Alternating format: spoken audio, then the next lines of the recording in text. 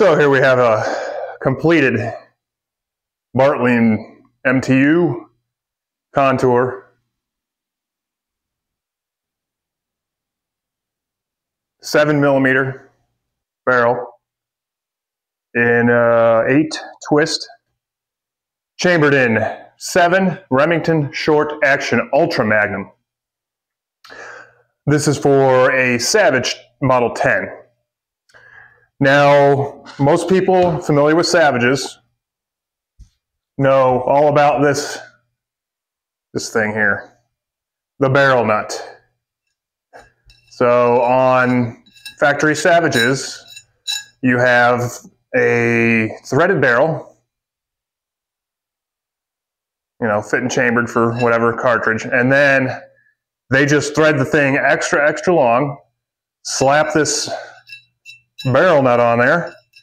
And then the monkeys at the factory can screw this into the receiver with a, a uh, go gauge in there, and they'll screw the action on until the closed bolt stops on the go gauge.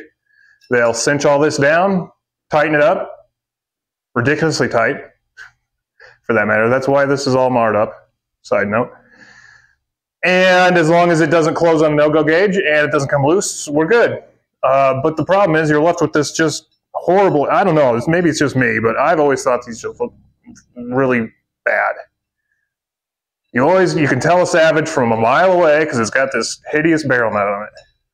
Well, here at Accurate Rifles and Restorations, we don't we don't do prefits. We don't do barrel nuts. We do barrel blanks, and we machine them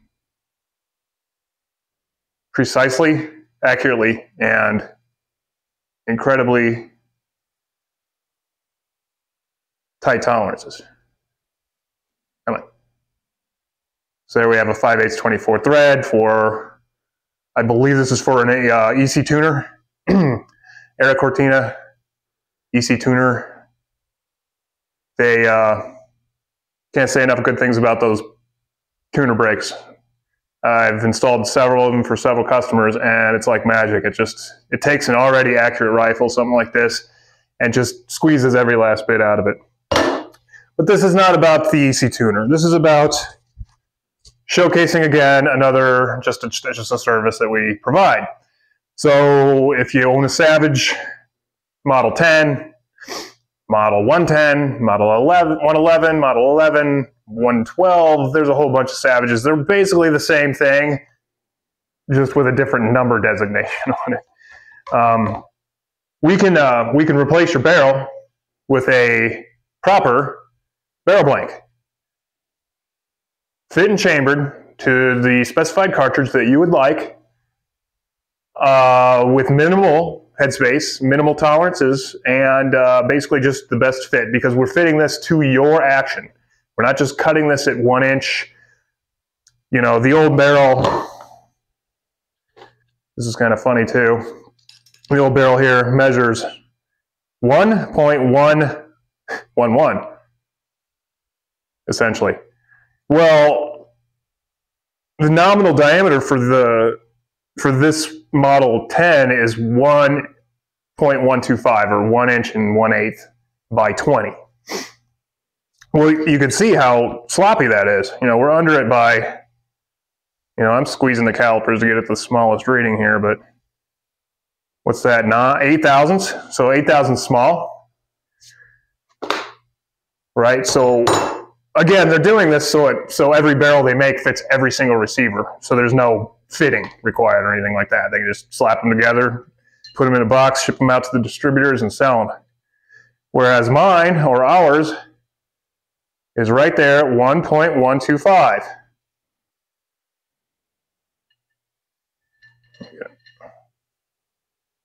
I gave it like a half thousandths clearance, so it's technically, if I had a micrometer, it'd be 1.1245. Again, just just saying, you know, when you have a gunsmith like me do this for you, it's going to be correct going to be to specification, minimal tolerances, minimal headspace, minimal everything, uh, equating to a superior rifle. So, where's that action at? there it is. Savages have a recoil lug, just like any other. And these are, I think, one or three sixteenths. Yeah, three sixteenths inch thick, and they have this nifty little alignment. It's not really a pin like a, a nub, but it is handy, um, especially with Savages, because guys will they use these for switch barrel rigs, right? So a guy just can go buy a Savage barrel nut wrench and have a whole bunch of different uh, barrels and just take it off, put new one on, go to the town. Now, that being said, that is the nice thing about it. I'm not gonna I'm not gonna poo-poo on that part of it. It's it is, you know, that's great. Reality, in real world, I don't know how many guys really do that. Um, I actually don't know anybody personally that does that.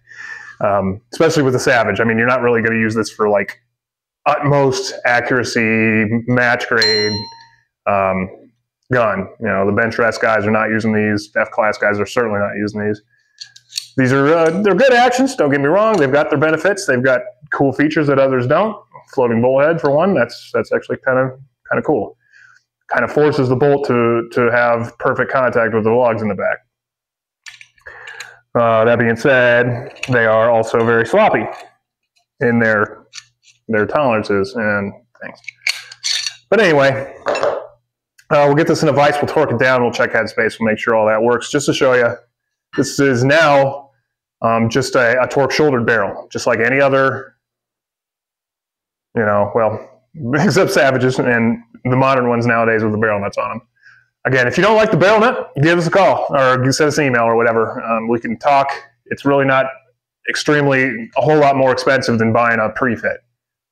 And you know, someone like me is, is going to chamber this, checking things every step of the way, making sure we're not getting too sloppy. So, you know, the, the lug's going to go, and this too. It's a very snug fit here for the lug. And I've provided a tiny little shelf for it to sit on there. So the threads don't go all the way to the shank. They stop here short uh, to allow that lug to have a little seat. And you can tell there's no jiggling or there's no rattling, so it's not it's not loose. Now it's loose this way. It's obviously got to spin a little bit, but uh, in terms of that, it's fine. So then, just like any other action, got to get it started here. And it's just going to screw right on.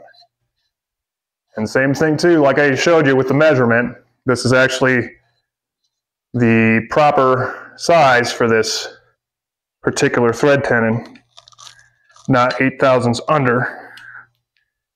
Okay, so we'll just allow that recoil lug to go all the way to the torque shoulder before we torque it in the vise.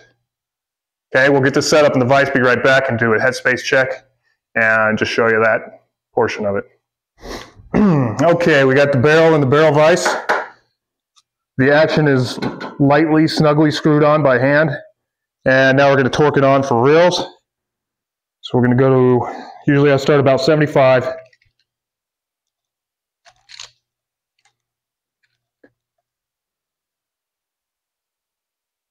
So 75 foot-pounds. Probably not going to be able to see that. Whatever, trust me, 75 foot-pounds. Get that engaged. Oh, by the way, short action customs. Again, with the short action, action customs wrench. This works for Savages. I didn't know that. That's cool. Well, at least it fits in there. And I had to swap out for the shorter bumper. Uh, but it fits in there with uh, the same amount of clearances as you'd see with uh, Remington. I we're going to try it. If it breaks, then it breaks. But uh, I believe that's going to work. So anyway, we're going to give a good little yark here. There's 75. We're going to check it with our go gauge. Chamber's clean, cleaned out the bore real well. And then, boom, baby. So it closes on that with absolute no slop or play in it. And so I guarantee you a little piece of tape on the back, that's not going to close. All right, there you go. A Savage with a brand new Bartlein MTU 7 millimeter 8 twist barrel. 5H 24 threads on the end. And no barrel nut. Doesn't that look nice? Doesn't that look sharp? So here's the old, here's the old barrel. Hideous barrel nut. I factory barrel. so it's either going to shoot well or not. Most cases not. Um, we have one source of torquing instead of two. And like I said, does, doesn't that just look better? You know, it looks good. Looks like a real rifle. I'm poo-pooing on Savage. They're fine rifles. I own one. Come on. Of course, it doesn't have a barrel nut on it, but. so, if you would like your Savage to be re-barreled in a match grade barrel blank and fit and chambered by a professional that specializes in accuracy and, and highly, highly accurate uh, rifles, you know where to go. Contacts in the description below. Thank you very much for watching. As always, like the video if you like it. Thumbs up. Or is that down? Thumbs up or down. Give me a thumbs down. I don't care. Leave a comment. If you think you uh, know better, that's cool. Go ahead and tell us. And uh, if you like what you see, uh, there's contact information in the description below. Find our website information and uh, subscribe. That's the other that's the other part of this. Subscribe to the channel. Subscribe to the channel if you like what you're seeing here. There's going to be we upload once a week and try to film things that are very interesting. So without blabbering on like I tend to do, I'm going to wrap this one up. So again, thank you very much. See you on the next one.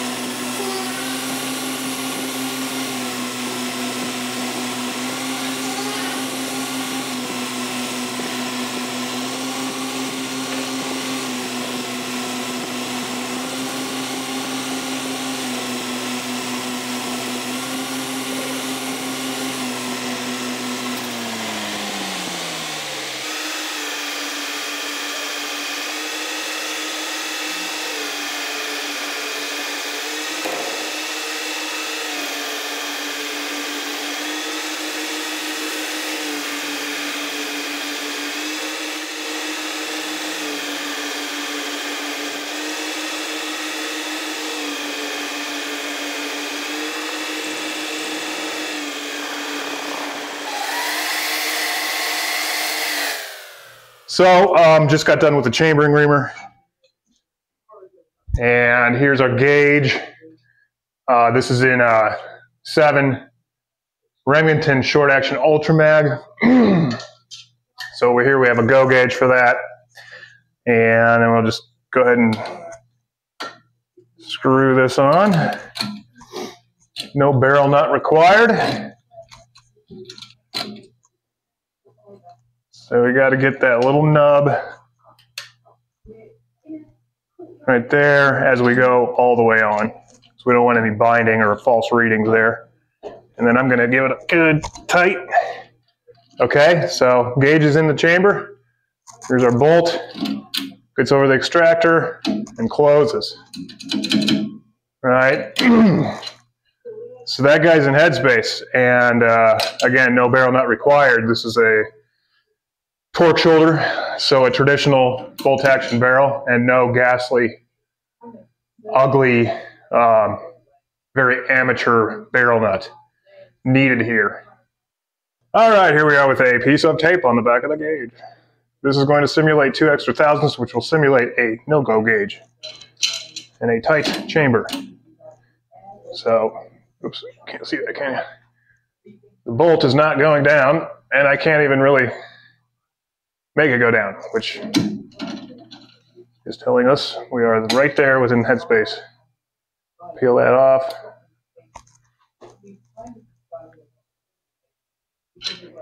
Back in, and it closes. so there you go. No barrel nut required. We've got a nice Bartlein barrel professionally chambered to a Savage 10.